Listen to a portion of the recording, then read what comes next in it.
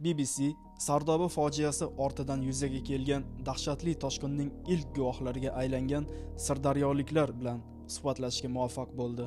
Ular atigi bir necha soat ichida o'n minglab insonlarning hayotini o'zgartirib yuborgan voqea tafsilotlarini so'zlab berdilar. Suv omboriga yaqinroq hududda yashagan bu insonlar hammasi juda tez sodir bo'lganini aytadilar.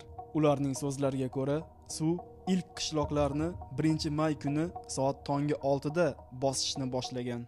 Odatda ertalab olti yarimda molni podaga chiqaramiz. Suv keldi deb baqir chaqir bo'lgan payti hali mollarni chiqarmagandik. Shu olti olti yarimlar o'rtasida biz tomonga suv yetib keldi.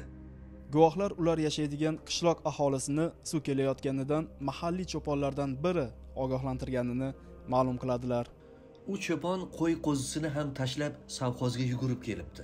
Qiy chuv boshlanib ketdi. Yaxshi ham ayollarning ko'pi podaga chiqarishdan oldin sigir sog'gani turgan. Saharlikka turganlar ham bo'lgan. Suv ombor tomondan g'uvvullagan kuchli shovqin eshitilardi. Yana izg'irin ham urildi. Ertalablari bunaqa sovuq shamolni hech ko'rmaganman. Hozir o'ylasam u suvning shamoli bo'lsa kerak. Ko'chadagi baqir chaqirni eshitib uxlab yotgan o'g'limning xonasiga yugurdim. Uni uyg'otdim. O'g'lim sakrab turib yarim yalang'och bitta shortikda ko'chaga otildi. Tashqari sovuqligi uchun qo'limga ilingan maykani olib ortidan o'zim ham ko'chaga chopdim. Ko'chaga chiqishim bilan o'g'lim moshinga moshinga suv keldi deb baqirib kelyapti. Atrofdagi qiy chuvni endi tasavvur ham qila olmaysiz. Ko'chaga chiqqanimizda odam to'la edi. Ko'pchilik hali uy kiyimida kelinchaklar chaqalog'ini kiyintirishga ham ulgurishmagan shunday beshikdan sug'urib olib qo'ltig'iga qisgancha yugurib chiqqan edi. Biror kimning qo'lida sumka ko'rinmasdi. Odamlar faqat jonini saqlashni o'ylardi. Mashinasi traktori bori texnikasini ishga soldi. Odamlar mashinalarga osilib chiqa boshladi. Eshak aravalar velosipedlarga minganlar ham ko'p edi. Texnikaga sig'maganlar yayov yo'lga tushdik. Voqea shiddat bilan rivojlangandan odamlarning pul qimmatbaho buyumlar va hujjatlarni olish xayoliga ham kelmaganini aytadilar. Qiziq tomoni bizning safhozdagilar suvning qanday kelayotganini ko'rmadik. Lekin yurakni o'ynatadigan qo'rqinchli shovqin kelayotgan tepalar changib ketgan. Boshqacha havo edi. Shu manzaraning o'zi bizni dahshatga tushirib qo'ydi. Shuning o'zi qanday xavf yaqinlashayotganini bizga tushuntirib qo'ydi pullarni olish tugul odamlar oyoq kiyimini kiyishni ham o'ylamay qochishga tushishdi. Men o'zim hatto paypoq kiymaganimni xavfsiz joyga borib keyin bilib qoldim.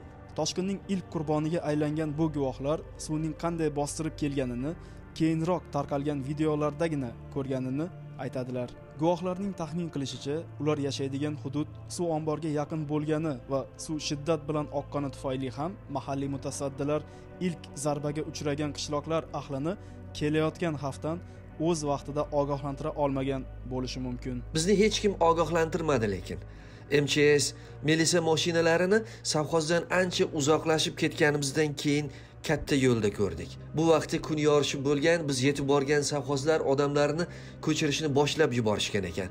Bizni ogohlantirishga ular ulgurishmadi shekilli. Guvohlar bu qishloqlar aholisini xavfsiz yerga olib ketish uchun atrofdan ko'ngillilar yog'ilib kelganini ko'rganliklari haqida so'zlaydilar. O'zim ko'rdim.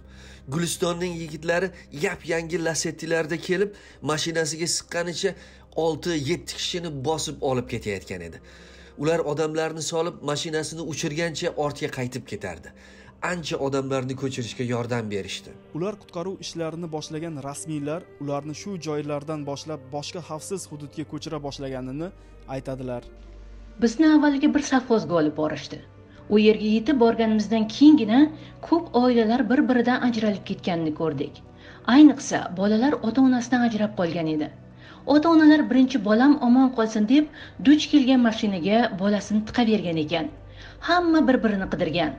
O'zimiz ham ikki uch bolaning ota onasini topib berdik. Bolalar nonushta qilmaganidan non deb yig'lar edi.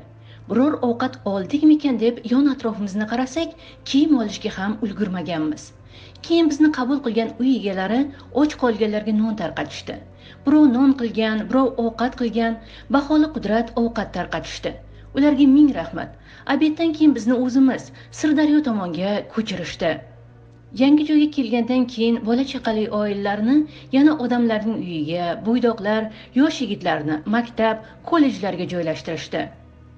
O'sha paytgacha ham nima bo'lganini tushunmayotgan edik.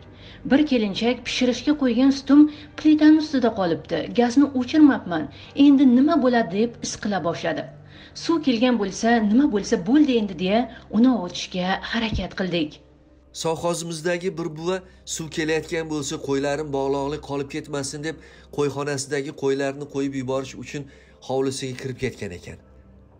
To'polonda u esdan chiqib qolib ketibdi. Tashqariga chiqsa suv ancha yaqinlashib bo'lgan. Buni ko'rib davleniyasi oshib ketib yiqilib qolibdi ko'chada. Qo'rqib ketgan bo'lsa kerak. Yaxshiyam eng oxiri qochganlar uni ko'rib qolishibdi. Bir balo qilib olib kelishibdi. Guvohlar toshqin biroz tinchigandan so'ng ayrim erkaklar talofatni ko'rish va zaruriy narsalarni olib kelish uchun qishloqqa qaytganini bildiradilar. Tomning ustigacha suv edi. Mol tomning ustiga chiqib olganini videoda ko'rgandirsiz. O'zimning itim ham ana shunday o'tiribdi borsam. Uyda na naski bor na tufli bor. Bizning uy yaxshiyam betondan qurilgan. Lekin loy guvaladan qurilganlar shunday o'tirib qolgan edi guvohlarning so'zlashiga ko'ra ayni vaqtda aksar qishloqlarda suv ancha tortilgan ammo toshqin aholi maskanlarini abgor holatga keltirib qo'ygan. Mol haddan tashqari ko'p o'lgan. Hozir soldatlar ancha tozalab tashlashdi. Lekin suv tortilgandan keyingi birinchi ahvolni ko'rganingizda edi borib kelgan yigitlar holatni videoga olib kelib bizga ko'rsatishdi. Ko'chalar mol it qo'y echkining o'ligiga to'lib ketgan. Toshqindan keyin kun birdan isib ketganiga molning o'ligi va balchiqning hidiga chidab bo'lmaydi deydi ular. Menga ham uyimiz videosini ko'rsatishdi. Suv uyimizning burchagiga katta molni olib kelib yopishtirib ketgan. Orqasidan uzumlarni xomtok qiladigan shot kelib urilgan. Katta mol og'zidan shunday qoni kelib qotib turibdida. Guvohlar qabristonlar ham buzilib suv jasadlarni yuvib ketgani haqida eshitganliklarini aytadilar. Bir qabristonni suv bir yarim metr o'yib ketibdi. Qancha xalq yotgandi u yerda. Hammasini oqizib ketgan. Faqat qabr toshlar qolgan deyishyapti. Guvohlar bbcga ko'p insonlar o'z yaqinlarini topa olmayotganini ham so'zlab berdilar. Bizning sovxozdan uch to'rtta falokat bor. Endi uxlab qolgan tomonlarda yo'qolganlar ham oz emas. Narigi mahalladan bir singlimiz o'ldi. Ikki bolasini tomga chiqargan o'zini suv tortib ketganini eshitdik. Guvohlar odamlar tartibsiz qochgani uchun ham oila a'zolari turli joylarga borib qolib bir birini topa olmayotgan bo'lishi mumkinligini taxmin qiladilar. Hamma tumtaraqay bo'lib ketdi hozir ro'yxat tuzishni boshlashdi. Bundan tashqari guvohlarning fikricha aksar odamlar shaxsini tasdiqlovchi hujjatlarni olishga ulgurmaganidan odamlarning soni chiqmayotgan bo'lishi mumkin. Bbc bedarak ketganlar to'g'risida ma'lumot so'rab favqulodda vaziyatlar vazirligiga murojaat qildi. Vazirlik matbuot xizmati vakili tez orada bu haqida ma'lum qilinishini bildirdi. Prezident shavkat mirziyoyev 5 may kuni sirdaryodagi suv toshqini oqibatida to'rt kishi halok bo'lib bir kishi bedarak yo'qolganini aytgan edi. Guvohlar hozirgi vaqtda dahshatli toshqin jabrdiydasiga aylangan insonlarni endi hayotimiz nima kechadi? degan savol o'ylantirayotganini aytadilar. Tirikchiligimiz asosan mol qo'y dehqonchilik juda ko'p mol qirilib ketdi. Odamlar millionlab pul sarflab plyonkadagiga qovun tarvuz ekkandi ular ham suvda oqdi ketdi. Ko'plar uyidan ayrilgan edi. Prezidentimiz o'zlari qishloqma qishloq yurib yangi uylar quramiz deyaptilar. Odamlar bilan bamaslahat ish qilamiz uylarni tozalaymiz. Agar yashab bo'ladigan bo'lsa bo'ldi. Yo'qsa yangi qishloqlar tiklaymiz deyaptilar. Lekin uy tiklashga ham ozmuncha vaqt ketmaydi. Bu yil to'y qilamiz deb yaqinda uyni remontdan chiqargandik. O'tgan yil dehqonchilikdan tushgan foydani unga sarflagandik. Endi hammasi loyga botib ketdi. Loyqani tozalagan bilan u uylarda endi yashab bo'ladimi?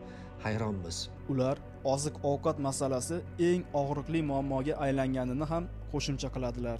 Prezidentimiz tomorqa ekinglar deganlariga hovlimizni yashnatib qo'ygandik kartoshkamiz endi gullashga kirgandi. Daraxtlar-ku turibdi lekin meva pishishiga hali bor. Hozirku ovqatdan g'amimiz yo'q. Bizni qabul qilgan uy egalari borini bo'lishyapti yordamlar kelyapti. Lekin birovning uyida baribir ming hijolatda yashaysiz